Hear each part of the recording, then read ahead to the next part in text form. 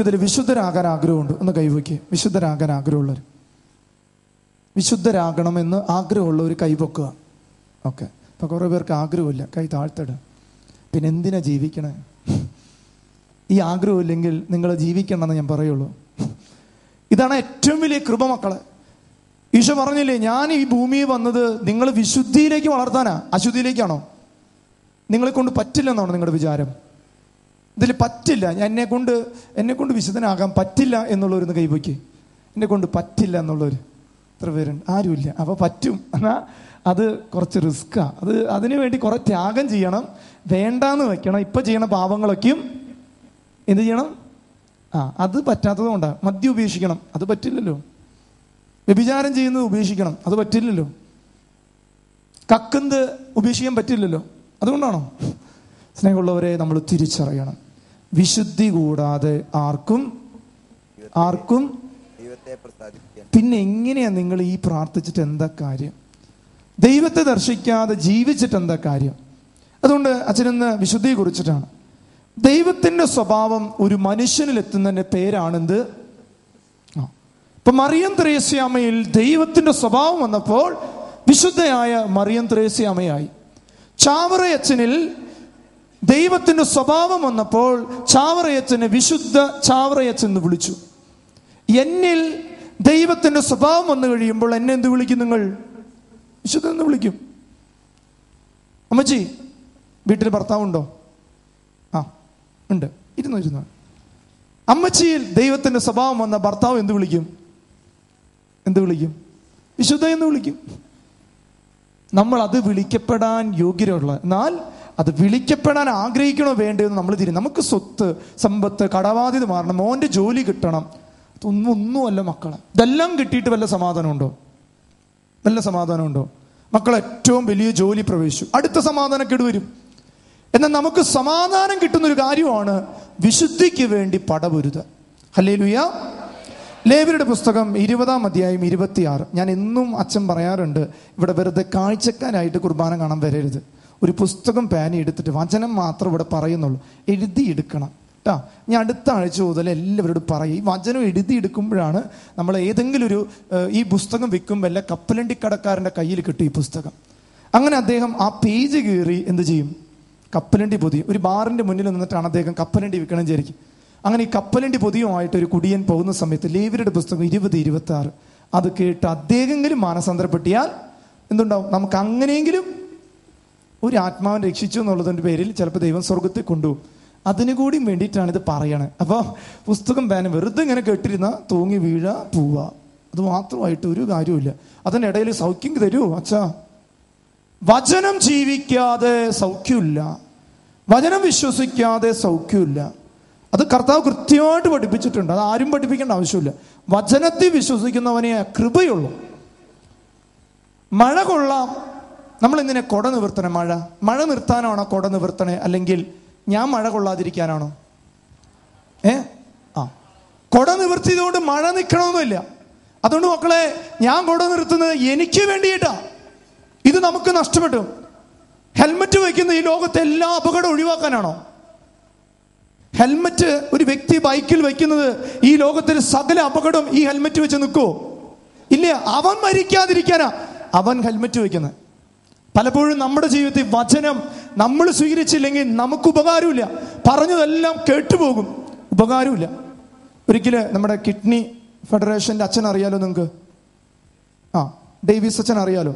അച്ഛൻ ഒരിക്കലും ഒരു പയ്യൻ വണ്ടി വെഞ്ചരിക്കാൻ വന്നു അച്ഛന്റെ അടുത്ത്. അപ്പൊ അച്ഛനോട് പറഞ്ഞു അച്ഛാ നല്ല ഹീ നല്ല സൂപ്പർ ബൈക്ക്. അപ്പൊ അച്ഛനോട് പറഞ്ഞു അച്ഛാ ഈ ബൈക്ക് നന്നായി വെഞ്ചരിച്ചു തരണം. അപകടത്തിലൊന്നും പെടരുത്. അപ്പം അച്ഛൻ നന്നായി വെഞ്ചരിച്ചിട്ട് അവനെ വിളിച്ചിട്ട് പറഞ്ഞേ ഞാൻ വണ്ടിയെ വെഞ്ചരിച്ചിട്ടുള്ളൂ. നിന്നെ വെഞ്ചരിച്ചിട്ടില്ല. ഞാൻ വണ്ടിയെ വെഞ്ചരിച്ചിട്ടുള്ളൂ. നിന്നെ വെഞ്ചരിച്ചിട്ടില്ല. കാരണം നീയാണ് ഈ വണ്ടി ഓടിക്കുന്നത്. അതുകൊണ്ട് തന്നെ ജീവിക്കോ മരിക്കോ എന്ന് നീ തന്നെ തീരുമാനിക്കണം. വണ്ടി എത്ര അച്ഛന്മാര് ലോകത്ത് ഏറ്റവും വലിയ കൃപയുള്ള അച്ഛൻ വെഞ്ചരിച്ചാലും കാര്യമില്ല. ഇരിക്കുന്നവൻ നന്നാവണം അല്ലേ? നമ്മുടെ മക്കളെ നമ്മൾ വെഞ്ചരിപ്പിക്കാറില്ലല്ലോ. വണ്ടി മാത്രം വെഞ്ചരിക്കാറുള്ളൂ. അതുകൊണ്ട് ശ്രദ്ധിക്കണം മക്കളെ. നമ്മുടെ ജീവിതത്തിൽ നമ്മൾ വിശുദ്ധീകരിക്കപ്പെടണം. വസ്തുക്കളും വ്യക്തികളും എല്ലാം വിശുദ്ധീകരിക്കപ്പെട്ടാലും ആ വ്യക്തി വിശുദ്ധീകരിക്കപ്പെട്ടിട്ടില്ലെങ്കിൽ അദ്ദേഹത്തിന്റെ കയ്യിലിരിക്കുന്ന കൊന്ത വിശുദ്ധീകരിക്കപ്പെട്ടിട്ട് കാര്യമില്ല കൊന്ത വിശുദ്ധീകരിക്കപ്പെട്ടതാ. ഏറ്റവും വലിയ അഭിഷേകമുള്ള അച്ഛനെ കൊണ്ട് അല്ലെ മാർപ്പാപ്പ വെഞ്ചരിച്ച കൊന്ത കയ്യിലുണ്ടെങ്കിലും പാപ ഉപേക്ഷിക്കാത്ത വ്യക്തി ആ കൊന്ത എടുത്ത് ചെല്ലിയിട്ട് കാര്യമില്ല. ആ വ്യക്തിയുടെ പാപം ഉപേക്ഷിക്കാത്തടത്തോളം കാലം ആ കൊന്ത എത്ര വലിയ മാർപ്പാപ്പ വെഞ്ചരിച്ചാലും കൃപയില്ല. ഹല്ലേലുയ. ശരിയാണോ അല്ലേ? ആ അതെ. അതുകൊണ്ട് ഇനി വെഞ്ചരിക്കുന്നതിന് മുമ്പ് നമ്മൾ സ്വയം വെഞ്ചരിക്കുക. കുമ്പസാരിച്ചിട്ട് അച്ഛ ഒന്ന് വെഞ്ചരിച്ച. എന്നിട്ട് കൃപയെ ജീവിക്കാൻ വേണ്ടിയിട്ടാണ് പറയണം. ഹല്ലേ ലുയ വലതുരുത്തി പറഞ്ഞേ ഹല്ലേ ലുയാ പോരാ ഹല്ലേ ലുയാ അഭിഷേകത്തോടെ പറഞ്ഞേ ഹല്ലേ ലുയാ ലേവരുടെ പുസ്തകം ഇരുപത് ഇരുപത്തിയാറ് വചനം പറയാണ് എന്റെ മുൻപിൽ നിങ്ങൾ വിശുദ്ധരായിരിക്കുവിൻ. എന്തെന്നാൽ കർത്താവായ ഞാൻ പരിശുദ്ധനാണ്. നിങ്ങൾ എനിക്ക് സ്വന്തമാകേണ്ടതിന് ഞാൻ നിങ്ങളെ മറ്റു ജനതകളിൽ നിന്ന് വേർതിരിച്ചിരിക്കും. ലേവരുടെ പുസ്തകത്തിൽ വിശുദ്ധിയെക്കുറിച്ച് പഠിപ്പിക്കുന്ന ഒരു വചനമാണ് എന്റെ മുൻപിൽ നിങ്ങൾ എന്തായിരിക്കണം? ആ വിശുദ്ധരായിരിക്കും. നിഷ്കളങ്കരും വിശുദ്ധരുമായിരിക്കണം എന്തെന്നാൽ കർത്താവായ ഞാൻ എന്താണ്? കർത്താവായ ഈശോ ആരാണ്? പരിശുദ്ധനായിരിക്കുന്ന പോലെ നിങ്ങളും. കാരണം ഇത്രയുള്ള മക്കളെ. ഈ പരിശുദ്ധനായ ദൈവത്തെ കുറച്ച് കഴിയുമ്പോൾ നിങ്ങൾ എന്ത് ചെയ്യും? എന്ത് ചെയ്യും? വടിക്കാത്ത നാവിലും എല്ലാ മുറുക്കാനും മുറുക്കി കള്ളു കുടിക്കുന്ന നാവ് നീട്ടി ഇങ്ങിടുതാ. പരിശുദ്ധനായവൻ പരിശുദ്ധനായിട്ട് വരുമ്പോൾ അവന്റെ ശരീരത്തിൽ ആ പരിശുദ്ധി ഇല്ലെങ്കിലോ അതുകൊണ്ട് ലേവയുടെ പുസ്തകത്തിൽ പറയണേ നിങ്ങൾ പരിശുദ്ധരായിരിക്കണം. കാരണം എന്നെ നിങ്ങൾ വഴിക്കുന്ന സക്രാരികളാണ്. അതുകൊണ്ട് നിങ്ങളും പരിശുദ്ധരായിരിക്കണം. വലതുരുത്തി പറഞ്ഞേ ഹല്ലേ ലുയാ അഭിഷേകത്തോടെ പറഞ്ഞേ ഹല്ലേ ലുയാ ചൂട് തലക്കടിക്കുമ്പോൾ കണ്ണടഞ്ഞു പോകും. അതുകൊണ്ട് ചൂട് തലക്കടിക്കുമ്പോൾ കണ്ണ് തുറപ്പിക്കണം. എന്നാലാണ് ഉറങ്ങാതിരിക്കുള്ളൂ. ഹല്ലേ ലുയാ ഇഷ്ടമില്ലാത്ത വിഷയമാണ്. രോഗശാന്തിയെക്കുറിച്ച് പറഞ്ഞ എല്ലാവരും കണ്ണു തുറന്നേനെ. കടബാധ്യതയെക്കുറിച്ച് പറഞ്ഞ എല്ലാവരും കണ്ണു തുറന്നേനെ. ഇത് നമുക്ക് ആഗ്രഹമില്ല കാരണം കൈപൊക്കാൻ പറഞ്ഞപ്പോൾ എനിക്കിന് ഭൂരിപക്ഷം കിട്ടി. ആരുമില്ല എന്നുള്ളത്. മക്കളെ ഇതില്ലാതെ ഞാൻ ഇവിടെ കിടന്ന് പ്രസംഗിച്ചിട്ട് കാര്യമില്ല. എന്റെ പൗരോഗ്യത്വത്തിന് വിശുദ്ധിക്ക് വേണ്ടിയിട്ടാണ് ഞാൻ ഈ ധ്യാന കേന്ദ്രത്തിൽ നിൽക്കണമെങ്കിൽ അതിന് വിലയുള്ളൂ. എന്റെ ജീവിതത്തിന്റെ സാങ്ക്ടിറ്റി വിശുദ്ധിക്ക് വേണ്ടിയിട്ടാണ് ഞാൻ ഈ പൗരോഗ്യത്തെ ധർമ്മം ചെയ്യുന്നത് ഈ വചനം പ്രസംഗിക്കുന്നത് എന്നാലും വിലയുള്ളൂ ഇതിന്. അല്ലാതെ ഞാൻ നിങ്ങളെ കാണിക്കാൻ വേണ്ടി ചെയ്തിട്ട് ഒരു കാര്യമില്ല അതുകൊണ്ട് പറയാ വിശുദ്ധി ഏറ്റവും പ്രധാനപ്പെട്ടതാണ്. ഇന്ന് വായിച്ച വചനം ഏത് സുവിശേഷകന്റെയാ? ആ മത്ത ഏത് അധ്യായം ഇരുപത്. ഇത് എന്ന് വായിച്ചതാ? ഇതിനു മുമ്പ് നിങ്ങൾ കേട്ടിട്ടുണ്ട് ഈ വചനം? എന്നായിരുന്നു. എന്നായിരുന്നു വായിച്ചേ? ഞായറാഴ്ച പള്ളിയിൽ പോയിട്ടുണ്ടെങ്കിൽ അറിയുള്ളൂ. ഇതൊന്നും കേട്ടിട്ടില്ല. ആ ഞായറാഴ്ച പള്ളി വായിച്ച വചനോ? ഞാൻ എത്ര പേര് കേട്ടിട്ടുണ്ടെന്ന് അറിയാൻ വേണ്ടിയിട്ടാണ് ഈ ഞായറാഴ്ച കുർബാനയ്ക്ക് കൃത്യസമയത്ത് പോകണം നേരത്തെ ഷാജിച്ചും പറഞ്ഞ പോലെ വചനവായന കഴിഞ്ഞ് പ്രസംഗം കഴിഞ്ഞ് കയറി ചെന്നാ നിന്റെ വിശുദ്ധിക്ക് ആവശ്യമുള്ളത് കിട്ടില്ല. കിട്ടിയോ? ഹല്ലേ ലുയ കഴിഞ്ഞ ഞായറാഴ്ച വായിച്ച വചനമാണ് വചനോ ഇവരെല്ലാം വളരെ പ്രധാനപ്പെട്ട ഒരു വചനമാണ് ഈശോ മുന്തിരി തോട്ടത്തിലേക്ക് കൃഷിക്കാർ അല്ലെങ്കിൽ ജോലിക്കാരെ വിളിക്കാൻ പോയിരിക്കാം പോകുന്ന സമയത്ത് സ്വർഗരാജ്യത്തെ കുറിച്ചാണ് ഈശോ പറയുന്നത്. എന്താണ് പറയുന്നത് സ്വർഗരാജ്യത്ത് തന്റെ മുൻപിൽ മുന്തിരി തോട്ടത്തിൽ ജോലിക്കാരെ വിളിക്കാൻ പോയി. എപ്പോഴൊക്കെ പോയേ? ഏതൊക്കെ മണിക്കൂറിൽ പോയേ? ആ മൂന്നാം മണിക്കൂറിൽ പോയി. ആറാം മണിക്കൂറിൽ പോയി. ഒമ്പതാം മണിക്കൂർ പോയി പതിനൊന്നാം മണിക്കൂറിൽ പോയി. അപ്പൊ മക്കളെ എന്നിട്ട് അവരെ വിളിച്ചിട്ട് അവരോട് പറഞ്ഞു ഞാൻ നിങ്ങൾക്ക് എന്ത് തരാം? ഒരു ധനാറ് തരാം. നമുക്ക് ഇങ്ങനെ ചിന്തിക്കാം. നൂറ് രൂപ തരാമെന്ന് ഈശോ വിചാരിച്ചു. നമുക്ക് എല്ലാവർക്കും എന്ത് തരാമെന്ന് വിചാരിച്ചു? നൂറ് രൂപ. എല്ലാവരോടും അത് പറഞ്ഞിട്ട് വിളിച്ചത്. അങ്ങനെ ഈ തോട്ടത്തിലേക്ക് ഇവർ വിളിക്കുക. ഞാൻ നിങ്ങൾ ചോദിക്കട്ടെ നിങ്ങൾ വിളിച്ചിട്ടുണ്ടോ അങ്ങനെ? നിങ്ങൾ ആരെങ്കിലും അങ്ങനെ വിളിച്ചിട്ടുണ്ടോ? മൂന്നാം മണിക്കൂറിൽ വിളിച്ചിട്ടുണ്ടോ? ഈശോ വിളിച്ചിട്ടുള്ളവരൊന്ന് കൈവയ്ക്ക്. എന്നെ മൂന്നാം മണിക്കൂറിൽ ഈശോ വിളിച്ചിട്ടുണ്ട് എന്നുള്ളവരൊന്ന് കൈവയ്ക്ക്. മൂന്നാം മണിക്കൂറിൽ വിളിച്ചിട്ടുള്ളവർ. കുറച്ച് പേര്. ഇനി ആറാം മണിക്കൂറിൽ എന്നെ ഈശോ വിളിച്ചിട്ടുണ്ട് എന്നുള്ളവരൊന്ന് കൈവയ്ക്ക്. ആറാം മണിക്കൂർ. ആരുമില്ല. ആ രണ്ട് മൂന്ന് പേര് പിറകിലുണ്ട്. ആ ഒമ്പതാം മണിക്കൂർ വിളിച്ചു എന്നുള്ളവരൊന്ന് കൈവയ്ക്ക്. ഒമ്പതാം മണിക്കൂർ വിളിച്ചു. പതിനൊന്നാം മണിക്കൂറിൽ വിളിക്കുന്നുള്ളവരൊന്ന് കൈവയ്ക്ക്. ഓക്കെ പതിനൊന്നാം മണിക്കൂർ. ആ അങ്ങനെ കാത്തിരുന്നു? കേട്ടോ അരമണിക്കൂർ ആകുമ്പോഴേക്കും കാത്തിരുന്നു. ഓക്കെ ഇതെന്താണ് നിങ്ങൾക്ക് ആർക്കും മനസ്സിലായി കുറേ പേര് കൈവെക്കാത്തതിന് കാരണത്തിൽ എന്താണ് ഈ മണിക്കൂർ എന്തെന്ന് മനസ്സിലാവില്ല. ഞാൻ നിങ്ങളോട് പറയാം. ജനിച്ചപ്പോൾ തന്നെ ദൈവം ഈ തോട്ടത്തിലേക്ക് വിളിച്ച വ്യക്തികൾ ആരാന്ന് പറയാൻ പറ്റുമോ? ജനിച്ച സമയത്ത് തന്നെ വിളിച്ചവര്. ആരാ? ജനിച്ചപ്പോൾ തന്നെ ഈ സ്വർഗരാജ്യത്തേക്ക് വിളിച്ചവര് തോട്ടത്തേക്ക് വിളിച്ചവർ ആരാന്ന് പറയാൻ പറ്റുമോ? ആ വെരി ഗുഡ് ആരാ പറഞ്ഞേ? ആ ചേട്ടന് നല്ലൊരു കൈഡി കൊടുത്തേ. ഇന്ന് ചോദ്യോത്തരങ്ങളൊക്കെ ഉണ്ടെങ്കിൽ നിങ്ങൾക്ക് എന്തായാലും മനസ്സ് ആ പരിശുദ്ധ അമ്മയെ ഒന്നാം മണിക്കൂർ വിളിച്ചതാ. മറ്റൊരു വ്യക്തിയാണ് സ്നാപയ യോഹനാൻ ഒന്നാം മണിക്കൂർ വിളിക്കപ്പെട്ടതാ. നമ്മൾ ആരും വിളിച്ചിട്ടില്ല ഒന്നാം മണിക്കൂറിൽ. പിന്നെ എന്തിനാ മാമൂസ് തൂങ്ങിയേ? ഏ? മാമൂസ് തൂങ്ങി തന്ന. ഇരുപത് വയസ്സായിട്ടോ മാമൂസ് തൂങ്ങിയ. നമ്മളെല്ലാം ഒന്നാം മണിക്കൂർ വിളിച്ചിട്ടും ആ വിശുദ്ധി സ്വന്തമാക്കാൻ നമ്മൾ ആരും താല്പര്യം കാണിച്ചില്ല. ഇനി മൂന്നാം മണിക്കൂർ വിളിച്ചവരെ ഒന്ന് പറയാവോ? മൂന്നാം മണിക്കൂർ വിളിച്ച നമ്മുടെ സഭയിലെ വിശുദ്ധരോ ഒന്ന് പറയാവോ? ദേ ഒരു വിശുദ്ധയാണ് ദേ നിങ്ങളുടെ മുന്നിലിരിക്കുന്നത് മൂന്നാം മണിക്കൂർ വിളിച്ചതാ. ഇനി മരിയ ഗോരത്തി വിളിച്ചതാ. ഡോം ബോസ്കോ മൂന്നാം മണിക്കൂർ വിളിച്ചതാ. ഡൊമിനിക് സാവിയോ മൂന്നാം മണിക്കൂർ വിളിച്ചതാ. നമ്മൾ ആരും വിളിച്ചിട്ടില്ല മൂന്നാം മണിക്കൂർ. വിളിച്ചിട്ടുണ്ടോ? ഉണ്ടോ? വെള്ള ഡ്രസ്സ് നോക്കിയിട്ട് കൈകൂപ്പി. അച്ഛാ ഞാൻ യേശുക്രിസ്തുവിനെ വിശ്വസിക്കുന്നു. എനിക്ക് കുർബാന വേണം. ആ രാത്രി ഉറങ്ങാതിരുന്നൊരു ദിവസം ഉണ്ടെങ്കിൽ ആദ്യ കുർബാന ദിവസത്തിന്. അന്ന് ഇടക്കിടക്ക് പോയിട്ട് വെള്ളുടുപ്പ് നോക്കും. ഇതിന് വല്ല പൊടി പിടിച്ചിട്ടുണ്ടോ? ചെളി പിടിച്ചിട്ടുണ്ടോ? അല്ലേ? അമ്മേ രാത്രി ആയി നേരം വെളുത്തില്ലേ? പള്ളിയെ പോണ്ടേ? കുർബാന കാരണം അന്ന് വരെ നമ്മൾ എന്താ ചെയ്ത്? അമ്മയുടെ സാരി പിടിച്ച് ഞാൻ ഇപ്പോഴും കുർബാനയ്ക്ക് കൊടുക്കാൻ പോകുമ്പോൾ ശ്രദ്ധിക്കാറുണ്ട്. ചില കുട്ടികൾ കൈ നീട്ടും. തരുമോ കുറേ നാളെ കൈ നീട്ടാൻ തുടങ്ങിയിട്ട്. കൊടുക്കാൻ പറ്റൂ? ഇല്ല. ഇതുപോലെ ആഗ്രഹിച്ച മക്കളാ. അപ്പൊ മൂന്നാം മണിക്കൂർ നിങ്ങൾക്ക് വിളി കിട്ടിയിട്ടുണ്ടോ? ഇല്ല. ആദ്യ കുർബാന സ്വീകരണം കഴിഞ്ഞ മക്കളോട് ഈ പറയണേ. വയസ്സായി മുടി നരച്ച് വായൽ പല്ല് വരെ പോയിട്ടും ഇല്ല എന്ന് അപ്പൊ ഒന്നാം മണിക്കൂർ നിങ്ങൾക്ക് വിളി കിട്ടിയിട്ടുണ്ട് വേണ്ടാന്ന് വെച്ചു. മൂന്നാം മണിക്കൂറും വിളി കിട്ടിയിട്ട് അത് വേണ്ടാന്ന് വെച്ചു. ഇനി ആറാം മണിക്കൂർ വിളി കിട്ടിയിട്ടുണ്ടോ? കിട്ടിയിട്ടുണ്ടോ? ഇല്ല. ഫ്രാൻസിസ് അസീസിക്ക് ആറാം മണിക്കൂർ വിളി കിട്ടിയ വ്യക്തിയാണ് വിശുദ്ധ ഇഗ്നീഷ്യസ് ലയോള ആറാം മണിക്കൂർ വിളി കിട്ടിയതാ. വിശുദ്ധ അഗസ്തീനോസ് ആറാം മണിക്കൂർ വിളി കിട്ടിയ വ്യക്തിയാണ് നിങ്ങൾക്ക് കിട്ടിയിട്ടുണ്ടോ? കിട്ടിയിട്ടുണ്ടോ?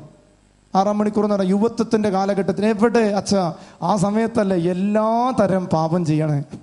അടിച്ചു പൊളി. അത് കഴിഞ്ഞ് മക്കൾ ആ പ്രായമാകുമ്പോൾ എല്ലാ അമ്മമാരും അപ്പന്മാരും മുട്ടുകുത്തി പ്രാർത്ഥിക്കും. എന്റെ കുഞ്ഞ് വിശുദ്ധനാകണം. നന്നാവും. വിളി കിട്ടിയ കാലത്ത് വിളിയെ ഉപയോഗിച്ചിട്ടില്ല. ഇനി ഒമ്പതാം മണിക്കൂർ. ഒമ്പതാം മണിക്കൂറിൽ ഒത്തിരി വിശുദ്ധരുണ്ട്. മരിയ ഒത്തിരി വിശുദ്ധർ നമുക്കറിയാം. ഈജിപ്തിലെ മറിയം അങ്ങനെ കുറേ വിശുദ്ധർ ഒമ്പതാം മണിക്കൂറിൽ. നമുക്കും വിളി വിവാഹം എത്ര മണിക്കൂറിലാണ് കിട്ടിയിട്ടുണ്ടാവുക? വിളി. ഏ ഒമ്പതാം മണിക്കൂർ കിട്ടിയ വിളിയാണ് ഭർത്താവിനെ കിട്ടിയ സമയം. അന്ന് മുതലിട് ക്രൂശിൽ കണ്ടു ഞാൻ നിൻ മുഖം. കർത്ത ഞാനിത് പറയാൻ കാരണം ഇത് വിളി കിട്ടിയവര് ഈ വിളിക്കില്ല. എന്നിട്ട് ഞാൻ നമ്മോട് ചോദിക്കട്ടെ അൽഫോൻസ് അമ്മയുടെ കബറെടുത്ത് തൊട്ടുമുത്തിയിട്ടുള്ള മക്കളൊന്ന് കൈവയ്ക്കുക ഓക്കെ ഞാനൊന്ന് ഇറങ്ങി വന്നോട്ടെ കുഴപ്പമില്ലല്ലോ. അമ്മച്ചി ഈ അൽഫോൻസ് അമ്മയുടെ കബറിടം തൊട്ടുമുത്തിയപ്പോൾ എന്താണ് പ്രാർത്ഥിച്ചത്? ഒന്നെങ്കിൽ മോളുടെ വിവാഹം നടക്കാനായിരിക്കും. അല്ല സ്ഥലം വിറ്റ് പോകാനായിരിക്കും. പിന്നെന്താ പ്രാർത്ഥിച്ച്? കുടുംബം നന്നാവാൻ വേണ്ടി അൽഫോൻസ് അമ്മയുടെ ഒരു കുടുംബം പോലും നോക്കാത്ത അൽഫോൻസമ്മയുടെ കുടുംബം നന്നാവാൻ വേണ്ടി പ്രാർത്ഥിച്ചു. ഞാൻ അൽഫോൻസ് അൽഫോൻസമ്മയുടെ കബറിടം ആ എന്താ പ്രാർത്ഥിച്ചേ? ആ വെരി ഗുഡ് അത് വലിയ കാര്യം. ഈ അമ്മച്ചി അങ്ങനെ തന്നെയാണ്. ഞാൻ ഡിവേനി പോയി അവിടെയും കാണാം പോട്ടെ പോയി ഇവിടെ എപ്പോഴും ഇവിടെയുണ്ട്. ഓക്കെ ഇനി ഇവിടെ കൈവയ്ക്ക്. കൈയൊന്ന് വെക്ക് ഓക്കെ. എന്താ പ്രാർത്ഥിച്ചേ? അത് ഇനി പറയരുത്. അത് പറഞ്ഞിട്ടില്ലെന്ന് എനിക്കറിയാം.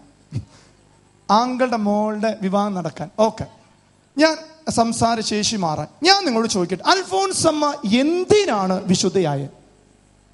സഹനത്തിന് വേണ്ടി. അങ്ങനെയെങ്കിൽ മക്കളെ നമ്മൾ അൽഫോൻസമ്മയുടെ കബറെടുത്ത് തൊട്ടിട്ട് എന്ത് പറയണം? അൽഫോൻസമ്മയെ അൽഫോൻസമ്മയേക്കാൾ വലിയ സഹനം കിട്ടി മരിക്കാൻ എനിക്ക് കൃപ വേണം. അതാണ് വിശുദ്ധി. അങ്ങനെ പ്രാർത്ഥിച്ച എത്ര പേരുണ്ട്? ഒരാളുണ്ട്. നിങ്ങൾക്ക് കിട്ടട്ടെ ഞാൻ അനുഗ്രഹിക്കുന്നു. ഞാൻ അങ്ങനെ പ്രാർത്ഥിച്ചിട്ടുള്ള ആളാണ് അതാണ് പ്രാർത്ഥിക്കേണ്ടത്. ഇബ്രാസിമ്മയുടെ കബറെടുത്ത് പോയൊരു പകുതി മുക്കാലും ഉണ്ടാവും. ഒന്ന് കൈ നോക്കിയേ ഇബ്രാസിമ്മയുടെ കബർ എന്ത് പ്രാർത്ഥിച്ചു? മോന്റെ ജോലി തടസ്സം മാറണം അത് മാറണം ഇത് മാറണം. ഒരിക്കലും വിശുദ്ധര് ആഗ്രഹിക്കാത്ത പ്രാർത്ഥനയാണ് നമ്മൾ പ്രാർത്ഥിക്കണേ. അവരാഗ്രഹിക്കുന്നത് അവരെക്കാൾ വിശുദ്ധരായി നമ്മൾ മാറണമെന്ന്. അവരുടെ തിരുനാളിന് പോകുമ്പോൾ അവരാഗ്രഹിക്കുന്നത് അവരെക്കാൾ വിശുദ്ധരായി അവരെക്കാൾ പീഡനങ്ങളും സഹനങ്ങളും എടുക്കേണ്ട ഒരു കാലഘട്ടം ഇത്. അങ്ങനെ ആരും പ്രാർത്ഥിക്കില്ല. അവരെന്തായാലും നമ്മൾ അൽഫോൻസമ്മയോട് പറയും ഇത്രയും സഹിച്ചാൽ ഈ സഹനോടി എടുത്തിട്ട് അതൊന്ന് ലഘൂകരിച്ചതാ. എന്റെ സഹനോടി എടുത്തിട്ട് ഒന്ന് ലഘൂകരിച്ച് എന്തായാലും സഹിച്ച് മരിച്ചു. ഇതുകൂടി എടുത്ത് ഒന്ന് തീർത്തുക അല്ലേ? ഇൻഡയറക്റ്റ്ലി നമ്മുടെ മനസ്സിൽ തോന്നുന്ന ഒരു പ്രാർത്ഥനയാണ്. മക്കളെ യഥാർത്ഥത്തിൽ നമ്മൾ അറിയണം വിശുദ്ധരാരാണ്. വിശുദ്ധരുടെ ജീവിതത്തിലെ ഏറ്റവും വലിയ കൃപയാണ്. ഞാൻ ഇന്ന് ഈ ഞായറാഴ്ചയാണ് ആര് വിശുദ്ധ പദവിയിലേക്ക് എത്തുന്നത്? അറിയോ എല്ലാവർക്കും? ഞായറാഴ്ച ടി വി സിനിമ തന്നെ കണ്ടോളൂട്ടോ. നമ്മുടെ കേരളത്തിൽ ഇരിഞ്ഞാലക്കുട ഈ തൃശ്ശൂർ രൂപതയിൽ രണ്ടാമത്തെ വിശുദ്ധയാണ് എനിക്കിനി പേടിയാ. ഇനി ഉണ്ടാവുകയോ ഇല്ലയോ എന്ന് അറിഞ്ഞുകൂടാ. ഇപ്പോൾ ഇപ്പോൾ ആയിട്ടുള്ളവർക്കാവും. ഇനി ഒരു കാലഘട്ടം കഴിഞ്ഞാൽ അവർ മാത്രമായിട്ട് ഒതുങ്ങുമെന്ന്. ജർമ്മനിയിലേക്ക് അങ്ങനെയാണ് ഫ്രാൻസിലേക്ക് അങ്ങനെയാണ് അതിന്റെ പേര് നമ്മൾ ഒത്തിരി അഭിമാനിക്കുന്നു. കേരളത്തിൽ രണ്ടാമത്തത് നമ്മളാവോ. അവൻക്കും അവനുമാകാമെങ്കിൽ എന്തുകൊണ്ട് നമുക്ക് ആയിക്കൂടാ? മറിയന്ത്രേസ്യമ്മ ആയിരത്തി എണ്ണൂറ്റി എഴുപത്തി ആറിൽ ജനിച്ചു. അപ്പന്റെ പേരെന്താണെന്നറിയോ? തോമ അമ്മയുടെ പേര് അന്ന. നിങ്ങളിതൊക്കെ അറിയണം. അപ്പോൾ ഈ അപ്പനും അമ്മയ്ക്കുള്ളൊരു മോളാണ് ആര്? മറിയം ത്രേസ്യാമ്മ അഞ്ചാമത്തെ വയസ്സിൽ തൊട്ട് ഉപവാസം അനുഷ്ഠിക്കുന്ന കൊച്ചാണ് മറിയം എത്രാമത്തെ വയസ്സ്? അഞ്ച് വയസ്സുള്ള ഏതെങ്കിലും കുഞ്ഞുകൂടി ഉണ്ട് അഞ്ച് വയസ്സെന്ന് പറഞ്ഞ മനസ്സിലായ? നഴ്സറി ചേർത്തണ പ്രായം തൊട്ട് ഉപവസിക്കുന്ന കുഞ്ഞിന്റെ കാര്യം ഞാൻ പറയണേ. അത് മൂന്നാം മണിക്കൂർ വിളിക്കപ്പെട്ട കുഞ്ഞാ. നമ്മൾ എന്താ പറയാ? നമ്മുടെ കുഞ്ഞിനോട് നിനക്ക് പ്രായമായിട്ടില്ല. അതുകൊണ്ട് ദുഃഖ വിളിയച്ച് നീ ഭക്ഷണം കഴിച്ചോ? അല്ലേ? അല്ലേ? ആ. നമ്മുടെ കുഞ്ഞുങ്ങൾക്ക് ഉപവാസത്തെ കുറിച്ച് പറഞ്ഞു കൊടുക്കാനോ ഇല്ല. എന്നാൽ അവരാകെ ഉപവസിക്കുന്നത് പറഞ്ഞ സാധനം കിട്ടിയില്ലെങ്കിൽ എനിക്ക് ഭക്ഷണം വേണ്ട. നീ കഴിക്കണ്ട. അപ്പൊ ഉപവാസമായി. ആണോ അല്ലേ? ആണോ അല്ലേ? എന്തേ ശബ്ദമില്ലല്ലോ? ആണോ അല്ലേ? അതെ. ആ അങ്ങനെ അതേ തന്നെ പറയും. ഞാനും കുറവ് ഉപവസിച്ചിട്ടുള്ള ചിലത് കിട്ടാണ്ടാവുമ്പോൾ നമുക്ക് ഉപവാസം. എന്നാൽ ദുഃഖ വെള്ളിയാഴ്ച ആർക്കും ഉപവാസമില്ല. ഒരു നേരം പോലും. മക്കളെ തിരിച്ചറിഞ്ഞു നോക്കി. അഞ്ചു വയസ്സ് മുതൽ യേശുവിന് വേണ്ടി ഉപവസിച്ച് പ്രാർത്ഥിച്ച ഒരു കുഞ്ഞ് വിശുദ്ധ അന്നു മുതൽ ജീവിതത്തിൽ ക്രിസ്തു വലുത് നിങ്ങൾ ചിന്തിച്ചു നോക്കിയേ ഒരു റോമിൽ പോലും പോവാത്ത ഈ മറിയം ത്രേസി അമ്മ ഇന്ന് റോമിൽ ഇപ്പോ കസേരകൾ ഇട്ട് നിരത്തിക്കൊണ്ടിരിക്കുക. നാളെ രാത്രി മുതൽ ആ വലിയ ആഘോഷമാണ് റോമിൽ. ആരാന്നറിയോ? ഈ കുഴുക്കാട്ടുശ്ശേരിയിൽ ജനിച്ചു വളർന്ന ഒരു മറിയം ത്രേസി അമ്മയ്ക്ക് വേണ്ടി ഭാരതത്തിലെ കൊടി പാറിപ്പറക്കാൻ ഈ റോമിൽ ഒരു അവസരം തന്നത് ഈ സാധാരണ കന്യാസ്ത്രീയ. അങ്ങനെയെങ്കിൽ മക്കളെ ജനിച്ചു വളർന്ന എല്ലാം ഉണ്ടായിട്ടും എന്തുകൊണ്ട് നമുക്കായിക്കൂടാ? അതിനുവേണ്ടി വിളി കിട്ടിയിട്ടും നമ്മൾ എന്തുകൊണ്ട് ആ വിളിയോട് ആമേൻ പറയാത്തത്? മക്കളെ അങ്ങനെ മറിയം തെരേസ അമ്മയുടെ മനസ്സിലുള്ള ഏറ്റവും വലിയൊരു വാചകം ഞാൻ പറയാം. അതെങ്ങനെയാ പറഞ്ഞേ നല്ലവനായ ദൈവം സഹിക്കുകയും സങ്കടപ്പെടുകയും ചെയ്യുമ്പോൾ എങ്ങനെ എനിക്കെങ്ങനെ കളിച്ച് ഉല്ലസിക്കാൻ പറ്റും? കുട്ടിക്കാലത്ത് പറഞ്ഞതാ. അമ്മയോട് പറയാ അമ്മേ എന്റെ ഈശോ സഹിച്ച് വേദനിച്ചിരിക്കുമ്പോൾ ഞാൻ എങ്ങനെ കളിച്ച് ഉല്ലസിക്കും? നിനക്ക് ദുഃഖം വരുമ്പോൾ മാത്രമാണ് നിന്റെ ദൈവത്തെ നീ നോക്കണുള്ളൂ. അന്നും നിന്റെ വീട്ടിൽ ഒരു ക്രൂശിത രൂപമുണ്ട്. നിന്റെ സങ്കടത്തിലും ദുഃഖത്തിലും മറിയം ത്രേസ്യമ്മ പറയാ എങ്ങനെ എന്റെ ദൈവം സങ്കട സങ്കടപ്പെട്ടിരിക്കുമ്പോൾ ഞാൻ കളിച്ചുല്ലസിക്കും അതുകൊണ്ട് മെറ്റൽ വിരിച്ച് അതിന് മുട്ടുകുത്തി പ്രാർത്ഥിച്ചിട്ടുണ്ട്. കുട്ടിക്കാലം മുതൽ ഈ മറിയം ത്രേസ്യമ്മ ഈ മറിയം ത്രേസ്യമ്മയുടെ പോയി അത് കിട്ടാൻ വേണ്ടി പ്രാർത്ഥിച്ചിട്ട് കാര്യമില്ല. അതുപോലെ ജീവിക്കാൻ വേണ്ടി പരിശ്രമിക്കണം. വലതുരുത്തി പറഞ്ഞേ ഹല്ലേലുയാ. കണ്ണടച്ച് പ്രാർത്ഥിക്കുന്നവരെ ഉറക്കെ പറഞ്ഞേ ഹല്ലേലുയാ. ഓക്കെ ശ്രദ്ധിക്കാം. ഹല്ലേലുയാ. അതുകൊണ്ട് മക്കളെ മറിയം ത്രേസ്യ അമ്മയുടെ ജീവിതം അത് ആയിരുന്നു. പിശാചിനെതിരെ പടപൊരുതാനുള്ള ശക്തി ഉണ്ടായിരുന്നു എയർലിങ്ങിനെ പൊന്തിപ്പും. നിങ്ങൾക്ക് വേണോ? ഈശോയെ അത്ര സ്നേഹിക്കണം. പിശാജ് വരുമ്പോൾ പോടാ എന്ന് പറഞ്ഞാൽ അവിടെ പോയിരിക്കും. നമ്മൾ പറഞ്ഞാലോ വരും. കാരണം പോവാൻ മാത്രമുള്ള അതിനേക്കാൾ വലിയ പിശാജാണ് ഉള്ളിലിരിക്കുന്നത്. ആകെ പേടിക്കുന്നത് അയ്യോ എന്നേക്കാൾ വലിയ പിശാജ് ഇതിന്റെ ഉള്ളിലുണ്ടല്ലോ എന്ന് പറഞ്ഞ പേടം ഭയം മാത്രം ഉണ്ടാവും. അതുകൊണ്ട് മക്കളെ ഈ വിശുദ്ധിക്ക് വേണ്ടി നമ്മൾ പടപൊരുതുക. ഇനി അച്ഛൻ വിശുദ്ധിയെ കുറിച്ചൊന്ന് പെട്ടെന്ന് പറഞ്ഞ് നിർത്തുക. ഒന്ന് ദൈവത്തിന്റെ വിളിയാണ് വിശുദ്ധി. എന്താണ്? ആ ഈ അച്ഛന് ഒരു വിളിയുണ്ട്. എന്താണ്? പൗരോഹിത്യം. നിങ്ങൾക്കുള്ള വിളി എന്താണ്? വിവാഹ ജീവിതം. അവിടെ ഇരുന്നിട്ട് ഇവിടെ നോക്കിയിട്ട് അഹങ്കരിച്ചിട്ട് കാര്യമില്ല. ഇവിടെ ഇരുന്നിട്ട് അങ്ങോട്ട് നോക്കിയിട്ട് അഹങ്കരിച്ചിട്ട് കാര്യമില്ല. രണ്ട് വിളിക്കും ഒരു വിളിയുള്ളൂ ലക്ഷ്യം. എന്താണത്? വിശുദ്ധി. ഞാൻ ഇവിടുന്ന് യാത്ര പുറപ്പെട്ടു പോകുന്നതും ഇതിനു വേണ്ടി നിങ്ങളും നിങ്ങളുടെ കുടുംബജീവിതം നയിച്ചു പോകുന്നതും. അതുകൊണ്ട് നമുക്ക് രണ്ടുപേർക്കും ഒരേ വിളിയുള്ളൂ. ആ വിളിയുടെ പേരെന്താണ്? വിശുദ്ധി. ഇത് വേണം. ഇതില്ലാതെ കാര്യമില്ല. ഞാൻ യാത്ര തിരിച്ച് ചെന്നിട്ട് അവിടെ എത്തിയില്ലെങ്കിൽ എനിക്ക് നഷ്ടം. നിങ്ങൾ യാത്ര തിരിച്ച് വന്നിട്ട് എത്തിയില്ലെങ്കിലും അതും നിങ്ങൾക്ക് നഷ്ടം. വലതുരുത്തി പറഞ്ഞേ ഹല്ലേലുയാ. ഒന്നേ തെസ്ലോനി നാല് ഏഴ്. ഒന്നേ തെസ്ലോനിക്കാർക്ക് എഴുതിയ ലേഖനം നാലാം അധ്യായ ഏഴാം വാക്യം. ദൈവം നമ്മെ വിളിച്ചിരിക്കുന്നത് അശുദ്ധിയിലേക്കല്ല. ആ ദൈവം നമ്മെ വിളിച്ചിരിക്കുന്നത് അശുദ്ധിയിലേക്കല്ല. എല്ലാവരും ഓർക്കെ പറഞ്ഞേ ദൈവം നമ്മെ വിളിച്ചിരിക്കുന്നത് അശുദ്ധിയിലേക്കല്ല. വിശുദ്ധിയിലേക്കാണ്. വിശുദ്ധിയിലേക്കാണ്. മാമോദിസ വഴി ദൈവം നിന്നെ വിളിച്ചിരിക്കുന്നത് അശുദ്ധി ചെയ്യാനല്ല വിശുദ്ധനാകാനാണ്. മാം സൈരലേപനത്തിനോട് ദൈവം നിന്നെ വിളിച്ചിരിക്കുന്നത് അശുദ്ധിയിലേക്കല്ല വിശുദ്ധി. വിവാഹ ജീവിതത്തിലേക്ക് നിന്നെ ദൈവം വിളിച്ചിട്ടുണ്ടെങ്കിൽ അത് അശുദ്ധിയിലേക്കല്ല വിശുദ്ധിയിലേക്കാണ്. കണ്ണി കണ്ട പാപം ചെയ്യാനല്ല ഈ വിളി നിനക്ക് തന്നിരിക്കുന്നത്. പൗരോഹിത്യ സന്യാസ ജീവിതത്തിൽ നിന്നെ വിളിച്ചിരിക്കുന്നത് അശുദ്ധിയിലേക്കല്ല വിശുദ്ധിയിലേക്കാണ്. ഇതിനൊരു മാറ്റവും ആരെങ്കിലും വരുത്തിയാൽ അത് തകരും. ഹല്ലേലുയ. അതുകൊണ്ട് മക്കളെ വിശുദ്ധി എന്നത് ദൈവവിളിയാണ്. എന്താണ്? ദൈവവിളിയാണ്. അമ്മച്ചിക്ക് ഈ വിളി കിട്ടിയിട്ടുണ്ടോ? വാ എനിക്ക് കിട്ടിയിട്ടുണ്ടോ? വാ എനിക്ക് കിട്ടിയിട്ടുണ്ട്. ഈ കുഞ്ഞിന് കിട്ടിയിട്ടുണ്ടോ? അവന് കിട്ടിയിട്ടുണ്ട്. എല്ലാവർക്കും ഈ ഇരിക്കുന്ന എല്ലാവർക്കും ഏത് മതത്തിൽപ്പെട്ടവനായാലും ഏത് സംസ്കാരത്തിൽ വിശ്വസിക്കുന്നവൻ എല്ലാവർക്കും കിട്ടിയൊരു വിളി എന്താണ് വിശുദ്ധിയാണ് വിശുദ്ധി. അപ്പോൾ ഈ വിശുദ്ധി എന്ന വിളിക്കൊരു പ്രത്യേകത ഉണ്ട് അതൊരു വെല്ലുവിളിയാണ്. വെല്ലുവിളിയാണ്. നമ്മുടെ പിള്ളേർ വെല്ലുവിളിക്കും. അമ്മേ അടുത്ത പരീക്ഷയ്ക്ക് ഞാൻ ഫുൾ മാർക്ക് മേടിച്ചാൽ എനിക്ക് സൈക്കിൾ മേടിച്ചു തരുമോ? കണ്ടിട്ടുണ്ടോ? വെല്ലുവിളിക്കുന്ന കണ്ടിട്ടുണ്ടോ? ഇല്ലേ? ഞാൻ നിങ്ങളെ വെല്ലുവിളിക്കാം. ഞാൻ വെല്ലുവിളിക്കാം. ഇവിടെ ഒന്ന് വെല്ലുവിളിക്കാം. അപ്പച്ചാ ഞാൻ വെല്ലുവിളിക്കാം. അപ്പച്ചന് വിശുദ്ധനാകാൻ പറ്റുമോ? പറ്റുമോ ഇല്ലേ? ഏ? പറ്റുമോ ഇല്ലേ? ഇല്ല. എന്തുകൊണ്ട്? ഞാൻ വെല്ലുവിളിക്കുക അപ്പച്ചന് പറ്റുമോ ഇല്ലേ? എന്ന് എന്താ പറ്റാത്ത? ഡോക്ടറേറ്റ് കഴിയണോ? വിശുദ്ധനാകണമെങ്കിൽ. എഞ്ചിനീയറിംഗ് പാസ്സാവണോ? ഡോ വിശുദ്ധനാകണമെങ്കിൽ. പിന്നെ എന്തുകൊണ്ട് പറ്റുന്നില്ല? ഏ? ജീവിക്കാൻ പറ്റില്ലേ? ഇനി ജീവിച്ചാൽ മതി. ഞാൻ പറയാ ഒമ്പതാം മണിക്കൂറിൽ ഞാൻ വിളിക്കുക. യേശുനാമത് വിശുദ്ധനാകാൻ പറ്റുമോ? വെല്ലുവിളിക്കുക. പറ്റുമോ? ഏ? പറ്റണം. ഈ വെല്ലുവിളികൾ നഷ്ടപ്പെട്ടു മക്കളെ നമ്മുടെ ജീവിതത്തിൽ നിങ്ങൾ ചോദിക്കുക പതിനൊന്നാം മണിക്കൂറിൽ ഇരിക്കുന്ന ചിലരുണ്ട് ഇതിൽ ഇനി പെട്ടി ഒരിക്കാൻ മതി. കൂടിപ്പോയ രണ്ടു മാസം മൂന്ന് മാസം. ഇല്ലെങ്കിൽ പറയും ഉറപ്പുണ്ടോ? ഉണ്ടോ ഇല്ലേ? പറ്റുമോ ഇല്ലേ? ഒമ്പതാം മണിക്കൂറിലുള്ളവർ കല്യാണം കഴിഞ്ഞപ്പോൾ അടുത്ത് ജീവിക്കുന്നവരെന്ന് കൈവയ്ക്ക്. വിവാഹ ജീവിതം കഴിഞ്ഞൊരു പത്ത് ഇരുപത് വർഷത്തിനുള്ളിൽ ജീവിക്കുന്നവർ ആ ഞാൻ നിങ്ങളോട് ചോദിക്കുക വിശുദ്ധര വിശുദ്ധയാവാൻ പറ്റുമോ? വെല്ലുവിളിക്കുക പറ്റുമോ? പറ്റുമോ ഇല്ലേ? പറ്റും പറ്റുമോ? ഏ? ഒന്ന് ഉറക്ക പറയ്.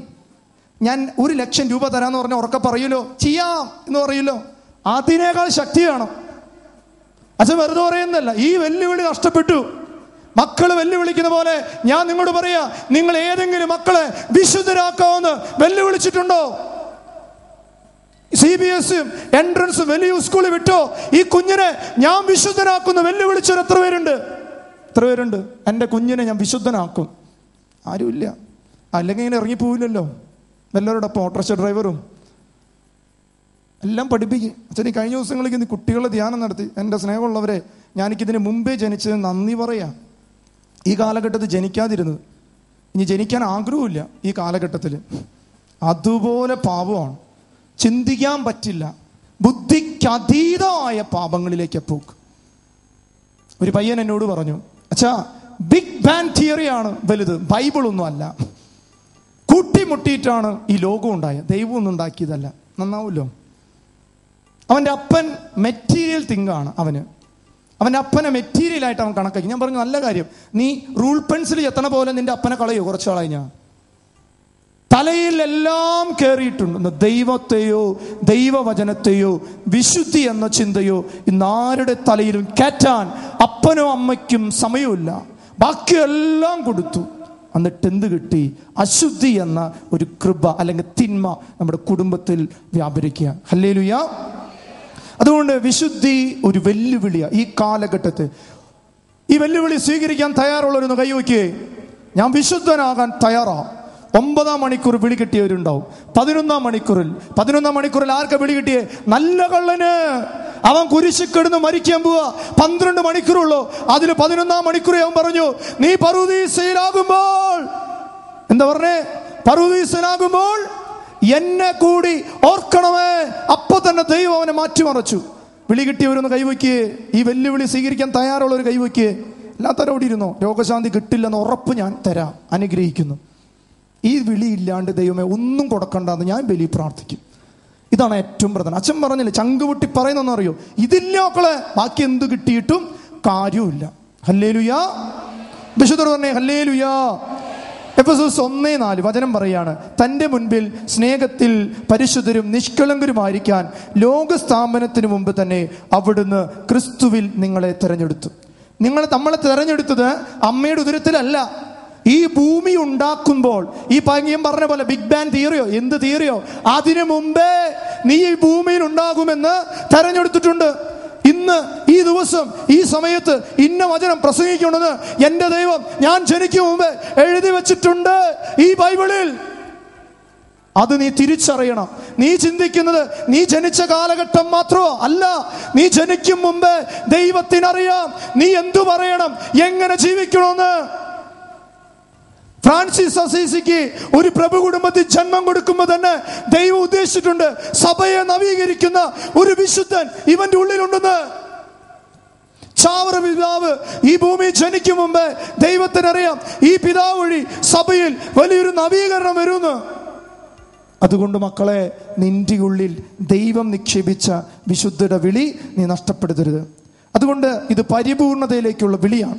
മത്തായി അഞ്ച് നാൽപ്പത്തെട്ട് അതുകൊണ്ട് നിങ്ങളുടെ സ്വർഗസ്ഥനായ പിതാവ് പരിപൂർണനായിരിക്കുന്നത് പോലെ നിങ്ങളും പരിപൂർണരായിരിക്കണം. എന്റെ ദൈവം പരിപൂർണനായിരിക്കുന്ന പോലെ ഞാനും പരിപൂർണനായിരിക്കണം. എഴുതി വെച്ചോ വിശുദ്ധിയുടെ പ്രാധാന്യങ്ങൾ. നാല് പ്രാധാന്യങ്ങൾ മൂന്ന് പ്രാധാന്യങ്ങൾ അച്ഛൻ പറയും. ഒന്ന് പുറപ്പാട് മൂന്ന് അഞ്ച് നിന്റെ കാലിലെ ചെരുപ്പ് നീ അഴിച്ചു മാറ്റണം. പാപം അഴിച്ചു മാറ്റാതെ ആർക്കും കൃപ കിട്ടില്ല. മോശയോട് പറഞ്ഞു നീ നിൽക്കുന്ന സ്ഥലം പരിശുദ്ധമാണ്. നിന്റെ ഉള്ളു പരിശുദ്ധമാകണം. എന്നാലേ എനിക്ക് നിന്റെ ഉള്ളിൽ അത്ഭുതം ചെയ്യാൻ പറ്റുള്ളൂ. അന്ധനോട് പറഞ്ഞു നിനക്കെന്തു വേണം? കാഴ്ച കിട്ടണമെങ്കിൽ നീ പാപം ഉപേക്ഷിക്ക്. എന്നിട്ട് അവന് കൃപ കൊടുത്ത് അതുകൊണ്ട് മക്കളെ ഇന്ന് തീരുമാനിക്ക്. മറിയം ത്രേസ്യ അമ്മയെ പോലെ എനിക്കൊരു വിശുദ്ധയാകാൻ എന്റെ ജീവിതത്തിലെ പാപത്തിന്റെ ചെരുപ്പുകൾ ഞാൻ അഴിച്ചു മാറ്റണം. രണ്ടാമത്തെ വിശുദ്ധിയുടെ പ്രാധാന്യം മത്തായി അഞ്ച് എട്ട്. ഹൃദയശുദ്ധിയുള്ളവർ ഭാഗ്യവന്മാർ അവർ ദൈവത്തെ കാണും. എന്റെ ഹൃദയം ശുദ്ധമാകാത്തത് കൊണ്ടാണ് എനിക്ക് ദൈവത്തെ കാണാൻ പറ്റാത്തത്. നിങ്ങൾക്കറിയോ വിശുദ്ധനായ പാതിരോ പിയോ മരിക്കും മുമ്പ് പന്ത്രണ്ട് പ്രാവശ്യം കുംഭസാരിച്ച വിശുദ്ധന.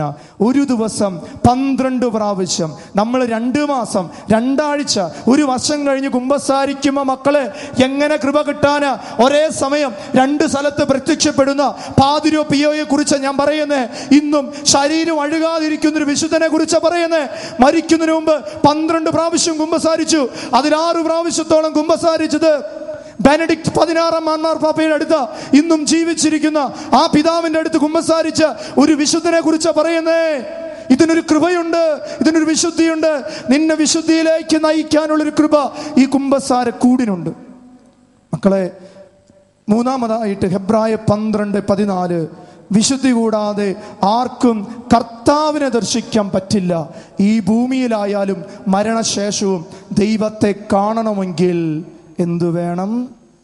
ആ. നിങ്ങൾ ഇവിടത്തെ കാര്യം മാത്രമായിട്ട് ചിന്തിക്കണ്ട. അതുകൊണ്ടാണ് ധനവാൻ അവിടെ അബ്രാഹത്തോട് പറയേണ്ടി വന്നേ. ദൈവത്തോടല്ല അവൻ പറഞ്ഞത്. അബ്രാഹം അബ്രാഹത്തോടാണ് ധനവാൻ പറഞ്ഞു എനിക്കൊന്ന് അവിടെ പോകണം നിനക്ക് കാണാൻ പറ്റില്ല. മരിച്ചാൽ നീ കാണുന്നാണ് നിന്റെ വിചാരമെങ്കിൽ അത് തെറ്റാ. എന്ത് വേണം അതിന്? ഇബ്രാഹിം പന്ത്രണ്ട് പതിനാല്. വിശുദ്ധി കൂടാതെ ആർക്കും കർത്താവിനെ കാണാൻ പറ്റില്ല. പരിശുദ്ധ കുർബാനയെ കാണാൻ പറ്റില്ല. കുംഭസാര കൂട്ടി കാണാൻ പറ്റില്ല. അത് കണ്ടവരാണ് വിശുദ്ധർ. ഹല്ലേലുയ. അതുകൊണ്ട് ദൈവത്തിന്റെ ആഗ്രഹം അച്ഛൻ പറയുക ഒന്നേ തസ്ലോനി നാല് മൂന്ന് മുതൽ അഞ്ച് വരെ. ഈ ദൈവത്തിന്റെ ആഗ്രഹം നമ്മെക്കുറിച്ചുള്ള ആഗ്രഹം ഇതാണ്. വചനത്തിൽ പറയാണ് നിങ്ങളുടെ വിശുദ്ധീകരണമാണ് ദൈവം അഭിലഷിക്കുന്നത്. അസന്മാർഗീയതയിൽ നിന്ന് നിങ്ങൾ ഒഴിഞ്ഞു മാറണം. നിങ്ങൾ ഓരോരുത്തരും സ്വന്തം ശരീരത്തെ വിശുദ്ധിയിലും മാന്യതയിലും കാത്തു സൂക്ഷിക്കേണ്ടത് എങ്ങനെയെന്ന് അറിയണം. ദൈവത്തെ അറിയാത്ത വിജാതീയരെ പോലെ കാമവികാരങ്ങൾക്ക് നിങ്ങൾ അടിമരാകരുത്. എല്ലാ പാപം ചെയ്തിട്ട് വിശുദ്ധരാകാൻ പറ്റില്ല. ഒരിക്കലും ഒരു യുവാവ് എന്റെ അടുത്ത് വന്ന് പറഞ്ഞു അച്ഛാ എനിക്ക് ജഡത്തിന്റെ ചിത്രങ്ങൾ ലൈംഗിക ചിത്രങ്ങൾ കണ്ട് പാപം ചെയ്യും. ഇത് ഒഴിവാക്കാൻ പറ്റണില്ല. നല്ല കാര്യം മോനെ ഞാൻ അവനോട് പറഞ്ഞു നീ ഇങ്ങോട്ട് വാ. നീ നിന്റെ ഈ ചിത്രത്തിലെ ആ നടിയുടെ തല വെട്ടി നിന്റെ അമ്മയുടെ തല വെച്ച് നീ ഒന്ന് കാണു. അവന് കാണാൻ പറ്റുമോ? അവന്റെ അമ്മയ്ക്കില്ലാത്തത് എന്താ? പാപത്തെ സൂക്ഷിച്ചു വെച്ചിരിക്കുക.